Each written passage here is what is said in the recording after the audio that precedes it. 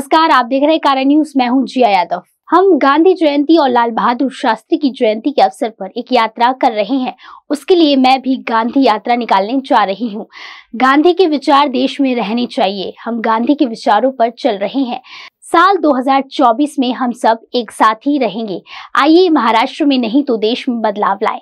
दो तारीख को हम सभी गांधी जी की प्रतिमा पर जाएँगे और उनके विचारों को लोगों तक पहुंचाएँगे। आज भारत एक साथ आ रहा है। भारत के सभी नागरिक एक साथ आ रहे हैं। वर्तमान हालात को देखते हुए गांधी जी के विचारों पर चलना ज़रूरी है। मुंबई महाराष्ट्र के लोगों से अनुरोध है कि वे हमारे साथ आए। ऐसी जानकारी वर्षा गायकवाड़ ने दी। मुझे इसमें कहना है में आप राजघाट पे सभी मिनिस्टर जाते हैं। देश के बाहर देश के प्राइम मिनिस्टर जाते हैं तो तथागत गौतम बुद्ध और महात्मा गांधी जी की बात करते हैं। लेकिन जब भी ऐसी कोई घटना होती है, जहाँ पे महात्मा गांधी जी का अवमान किया जाता है, जैसे मनोहर कुलकर्णी जी ने एक बात कही, महात्मा गांधी जी से माता के बारे में, पिता के बारे में, देश के प्राइम मिनिस्टर ने छोड़िए राज्य के मुख्यमंत्री और उप मुख्यमंत्री जी को हमने दस बार असेंबली में कहा कि उन पर एक्शन होनी चाहिए। लेकिन आज वो आपको स्टेज पे किसी के मिलेंगे और खुले आप घूमते हैं, सब जगह प्रचार करते हैं। तो उनको किसका शय है? आज मुंबई में हम लोग मीटिंग ले रहे हैं।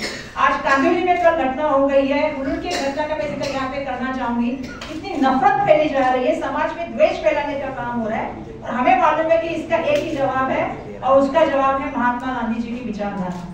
देश में महात्मा गांधी जी की विचारधारा है, महात्मा गांधी जी की विचारधारा में देश है ये पहले तो हम सबको समझना पड़ेगा। यहाँ पे सत्य, अहिंसा, सद्भावना, धर्म निरपेक्षता, ये हमारे समाज के सबसे बड़ी बुनियाद है।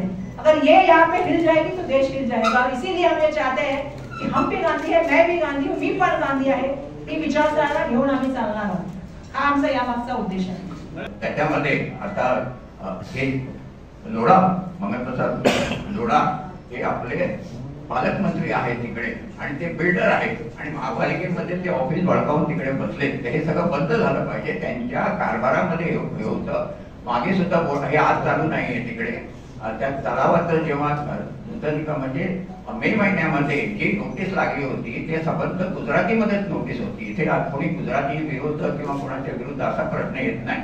परंतु ही जी दडपशाही चाललेली आहे आणि सगळे कायदे बाजूला टाकून महापालिकेचं कार्यालय त्यांनी बळकवलेलं आहे. आम- आम्ही सर्वांनी मला वाटतं एक पत्र पाठव पाठवलेलं आहे की ताबडतोब त्यांनी ते हे केलं पाहिजे तिकडे. आणि त्यांच्यामुळे बीजेपीमुळे आणि अशा मंत्र्या पालकमंत्र्यामुळे या घटना मुंबईमध्ये घडत राहतील. संयुक्त महाराष्ट्राच्या चळवळीमध्ये जरी गुजराती समाजात अ, होता तरी अशा घटना कुठेच झालेल्या नाही कुठल्याही सोसायटीमध्ये लिंग त्याच्यानंतर जाती धर्म याचं बंधन न करता सर्वांना जागा दिली पाहिजे. हा खरा गांधीवाद आहे.